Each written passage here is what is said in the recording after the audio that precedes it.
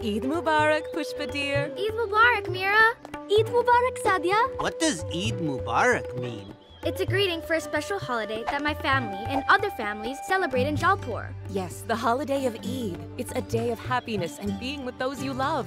On Eid, we think of others and give gifts. Why do people celebrate Eid? Is there food involved? What do you do on Eid? Chiku, you're overwhelming Sadia with your questions. So, about the food.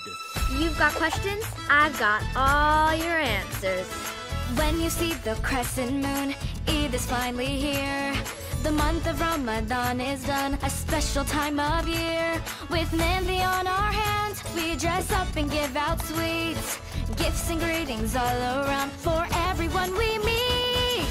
Eid Mubarak, Eid Mubarak, let's enjoy the day and say Eid Mubarak, Eid Mubarak, share a feast with family and friends. Think of others, the joy and happiness. Today we're grateful for what we have and everyone we love. We find a way to give our thanks. Or the best part, give a hug. There are coins inside this envelope, a gift for kids to spend. Called Eidi, use it how you like, or share it with a friend.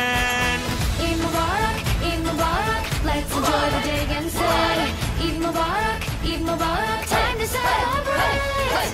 Eid Mubarak, Eid Mubarak, share a feast with family and friends. Think of others, and happiness.